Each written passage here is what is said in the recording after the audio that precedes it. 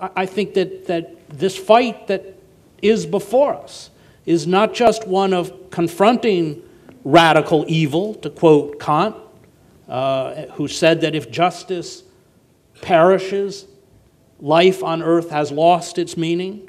It is a spiritual battle. It is one because, you know, we're, one day Cornell will be gone and I'll be gone and the battle will still be there. I- I- evil is not going away.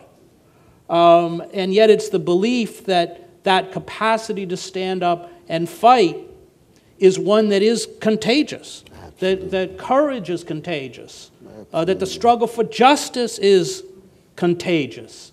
And I, I believe it is. I believe that there is, you know, always uh, that when I was booed off of that commencement stage, other people said, well, you should have been more moderate or you should have. I got six letters from students who thanked me.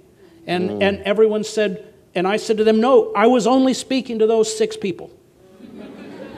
I wasn't speaking to anyone else. And, and I think when, when justice's clarion call is made, um, it ignites that prophetic fire that you write about. And it's real, and it's powerful, and it's called love, and it is the greatest and most powerful and valiant force on earth. Yes, yes, yes, yes. Yes, yes, yes.